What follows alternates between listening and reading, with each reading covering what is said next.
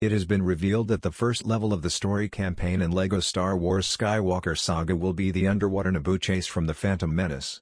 Each movie will have five key story moments for its campaign.